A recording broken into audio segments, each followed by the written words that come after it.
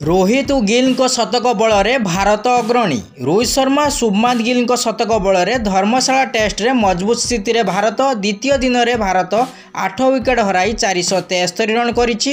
ଦଳ ଇଂଲଣ୍ଡଠୁ ଦୁଇଶହ ପଞ୍ଚାବନ ରନ୍ର ଅଗ୍ରଣୀ ହାସଲ କରିଛି। କୁଲଦୀପ ଯାଦବ ସତାଇଶ ରନ୍ ଯଶପ୍ରୀତ ବୁମରା ଉଣେଇଶ ରନ୍ କରି ଅପରାଜିତ ଅଛନ୍ତି। ରୋହିତ ଶର୍ମା ଶହେ ତିନି ରନ୍ କରିଥିବା ବେଳେ ଶୁଭମାନ ଗିଲ୍ ଶହେ ଦଶ ରନ୍ କରିଛନ୍ତି। ପଦାର୍ପଣ ଟେଷ୍ଟରେ ଦେବଦତ୍ତ ପାଟିକଲ ସରଫରାଜ ଖାନ୍ ଅର୍ଦ୍ଧଶତକ ହାସଲ କରିଛନ୍ତି। ଇଂଲଣ୍ଡ ପକ୍ଷରୁ ଶହେ ବସିର ସର୍ବାଧିକ ଚାରୋଟି ୱିକେଟ୍ ନେଇଛନ୍ତି।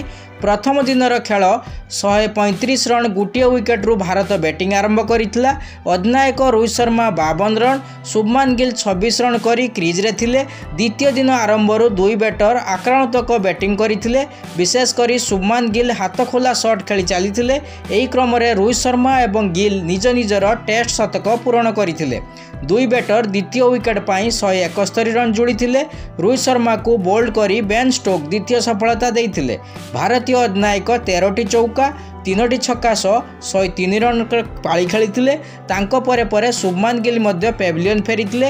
ସେ ଶହେ ପଚାଶଟି ବଲ୍ରୁ ବାରଟି ଚୌକା ଓ ପାଞ୍ଚଟି ଛକା ସହ ଶହେ ଦଶ ରନ୍ କରିଥିଲେ।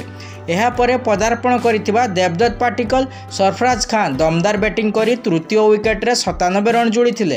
ସରଫରାଜ ଖାନ୍ ଦ୍ରୁତ ବ୍ୟାଟିଂ କରି ସିରିଜ୍ରେ ତୃତୀୟ ଅର୍ଦ୍ଧଶତକ ହାସଲ କରିଥିଲେ।